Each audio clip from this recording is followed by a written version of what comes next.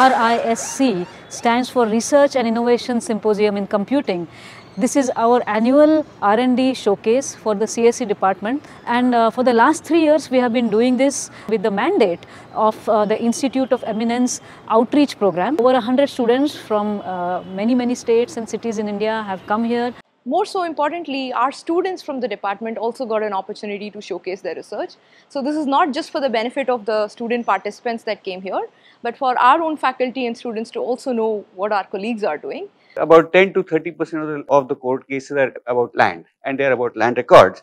Then you see that there's a lot of mismatch between the actual record uh, and where your piece of land is. About 50 percent of Maharashtra's land have a discrepancy of about 20%. The mismatch between actual physical land and the records creates you know a lot of friction in the economy. What we are, the proposal is is to build an IT stack just for land records. Cryptography is very very very important at this point and so crucial that not only our nation states and governments but all the big companies these days like you think of Amazon starting from Google everybody is investing quite a huge amount in developing this subject. So it's a very exciting subject.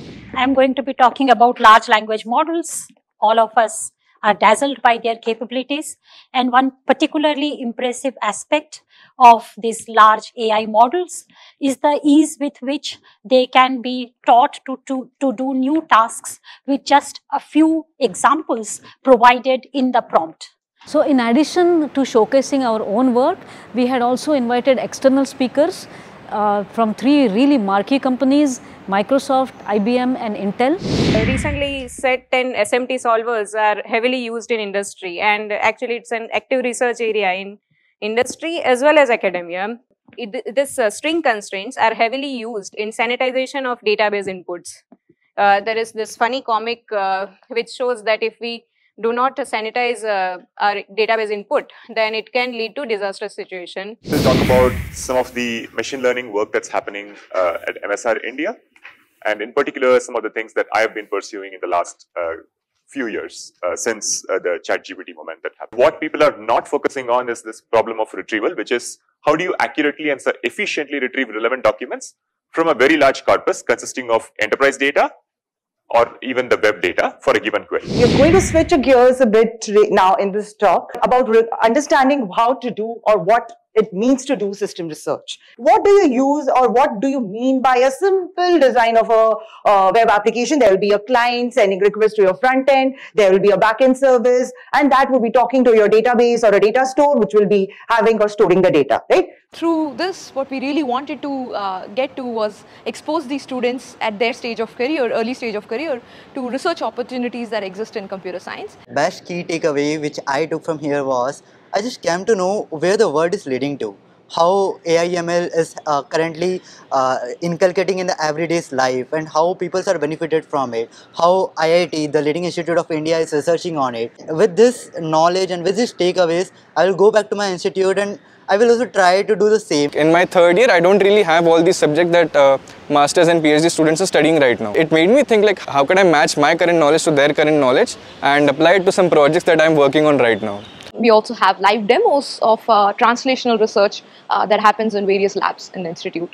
Our own PhD, masters and even bachelor students uh, gave talks uh, of 15 minute uh, lengths to the RISC participants.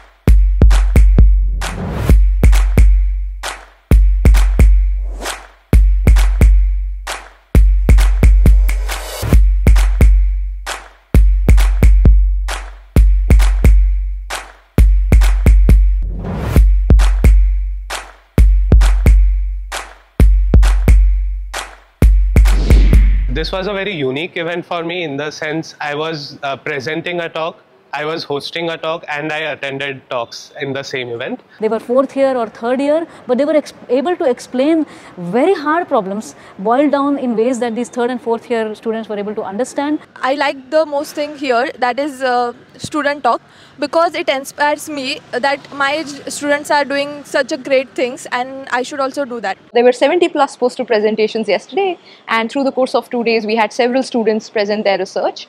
A poster format really allows for a very intimate interaction between uh, the, the participant and the, and the presenter.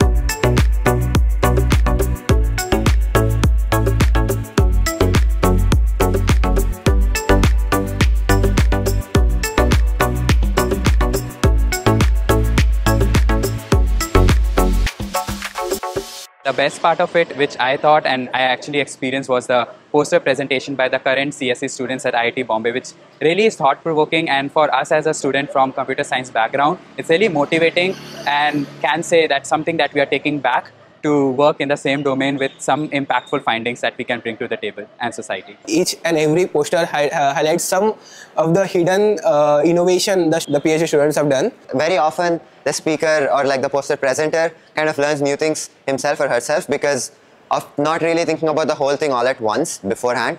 Discussions from the audience typically ask questions that perhaps the speaker has not thought of and sometimes that could lead to very nice future work. We had a very engaging panel discussion. The purpose was really given the age of uh, current era in AI, different job opportunities they can take and not just that whether they choose an industry career path or uh, going into academia, what are all the different options they can avail. Uh, I've seen people who are very good at one thing and they are able to do it very deeply. Uh, this is extremely useful in large corporates. So let's say if I'm joining Google, and I'm great at building search engine related algorithms. So that, uh, you know, it makes me a perfect fit candidate for a large company like Google. For a startup founder, an ideal workforce will be someone who, who can think a little more horizontally rather than just going deep, right? Uh, and that requires a lot of second order thinking. Uh, the world is not about all about LLMs, right? Uh, as we are sort of made to think today. There is so much more about I mean, human beings, how they interact with AI, about how much heat AI is producing. There are many problems, I think, which are very um, important for, I don't know, our future, which are not currently in the crosshairs of uh, industry. Right? Uh, you work with the problems that your clients are facing, or you, you can do a direct impact through your research as well, right? You can see your research being in a product that's working, that's being used by a lot of users. Like, would AI replace normal workforces? But this question has existed throughout the 20th century. So if you look at 1930s, if you look at 1960s, if you look at early 2000s, these questions have already always existed whether the new upcoming technology would replace the existing labor force. Beyond that, uh, they also got to know about opportunities of uh, internships, uh, pre-doctoral research programs, or um, you know, master's, PhD programs that they can pursue in these places. Our vision is to be a leading contributor to the enterprise of making the digital environment trustworthy.